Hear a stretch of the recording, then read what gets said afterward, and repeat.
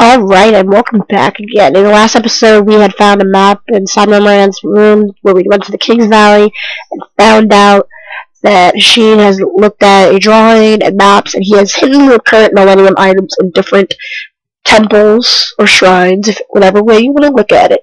And now we've got to battle people to get the Millennium item and defeat him and bring peace to Egypt.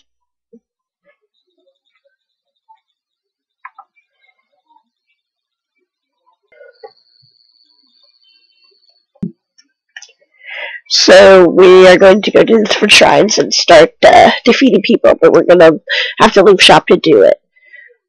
Now, each of these uh, fields, these uh, places have a low mage and a high mage. You can save after defeating the low mage, but when you go back to the same temple, you have to fight the low mage and the high mage. So there's two battles consecutively. So make sure that your deck is very balanced. Again, you can do free duels as many times as you want. There's no limit, and I recommend it. Now, Meadow Mage, basically, they're using the card Sogen as their field. They're going to have cards that mainly benefit a Meadow field. I wanted to get the low mage for the uh, meadow because it's actually beneficial. You pretty guy. I'm amazed that you made it this far. Too bad. You'll never leave here alive. Wow. Well, we'll see what we'll do here. See if we do.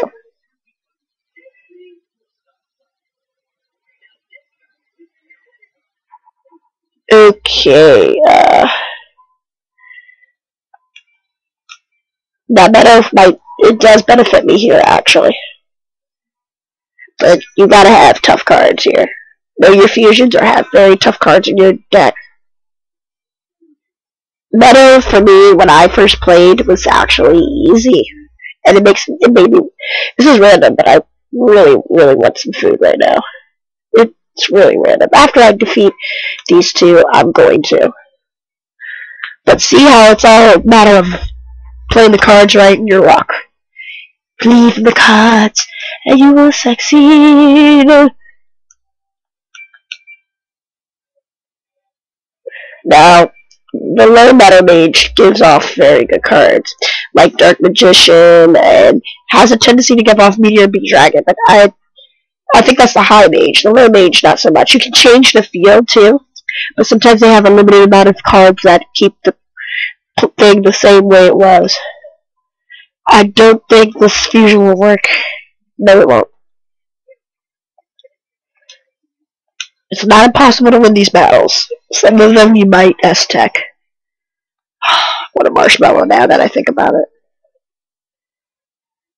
In my next turn, hopefully. I'm not going to save because... Actually, I might just save if you're confident enough that you can defeat the uh, in a second time, then go ahead, go ahead and save. I'm going to. If he gives me a good card, I will.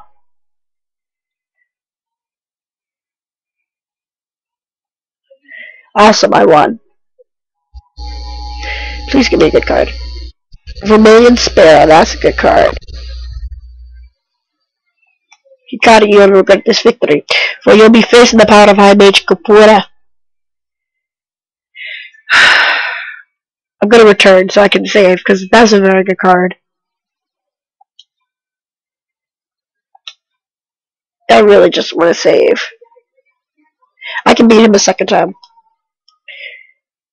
Card shop. I don't recommend you do this with every person you defeat. Vermilion C. Excellent. I'm going to replace actually a pyro card I have. Or, you know what? Firegrass I'm going to replace with Vermilion Sparrow. And save one more time.